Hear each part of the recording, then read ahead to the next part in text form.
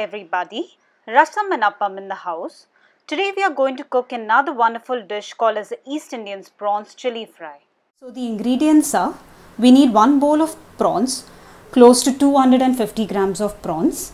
We need some onions. I've- taken about four onions, four to five onions, medium size. Uh, two potatoes, which are cut into small cubes, one centimeter each.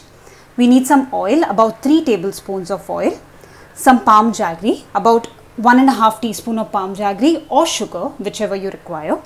About seven to eight flakes of uh, garlic.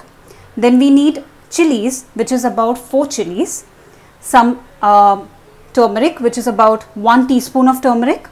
Coriander, uh, about five to six, um, you know, strings of uh, coriander, and bottle masala. I'll talk to you about the bottle masala later.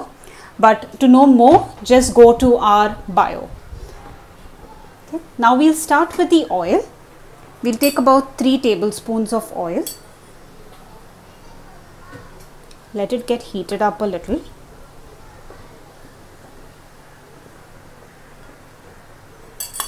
I think it's almost heated up. You can put your flame on high for a while. Now we'll take some chilies, about 4 to 5 green chilies. If you want more spicy, you can add some more. Some garlic. Now, we'll saute the garlic for some time till the raw flavor goes off.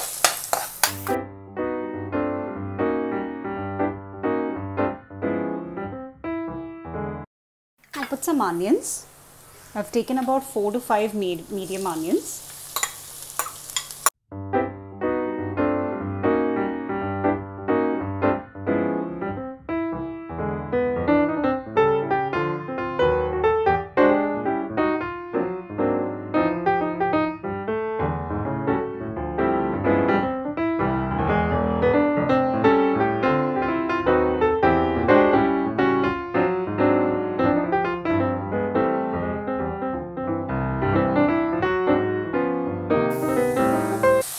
Let it get caramelized for a while.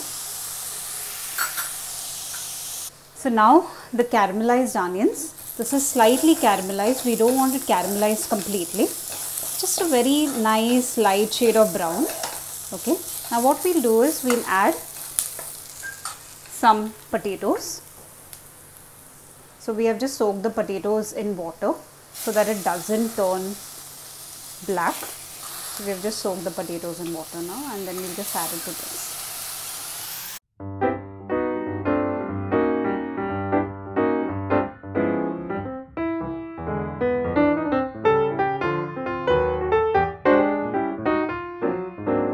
Now we'll add some turmeric powder.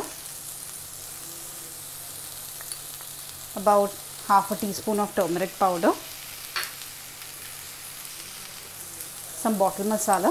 I've taken 1 teaspoon of bottle masala just to give that flavor to it and a palm jaggery.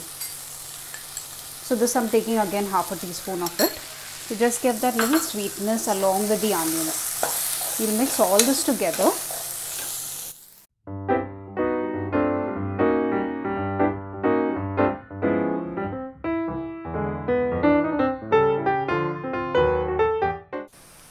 Now we'll add some salt to it just to give that little flavor. Now like I said the prawns already have salt but still we'll add a little bit salt to alter the taste.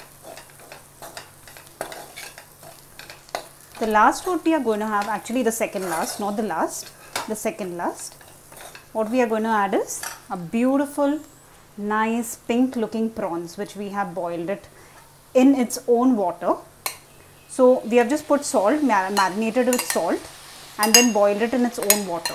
We have not added any water to it.